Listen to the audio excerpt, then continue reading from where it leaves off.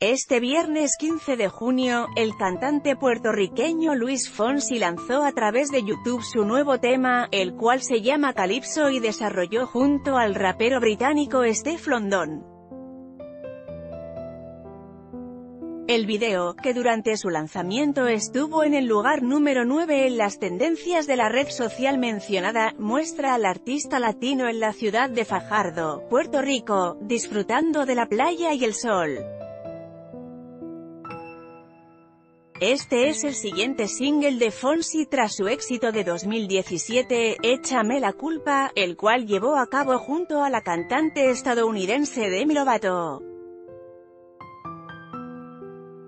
De acuerdo a revista Rolling Stone, el artista tiene como objetivo dejar el reggaetón a través de este nuevo trabajo, el cual fue producido por el dúo de colombianos Andrés Torres y Mauricio Rengifo.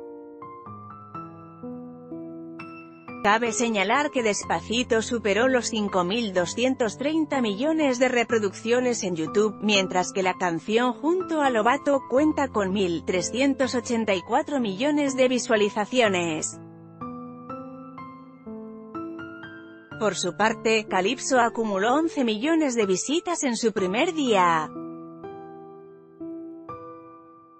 TNA's Curiosidad, te invitamos a revisar este nuevo tema. Etiquetas de Estenoda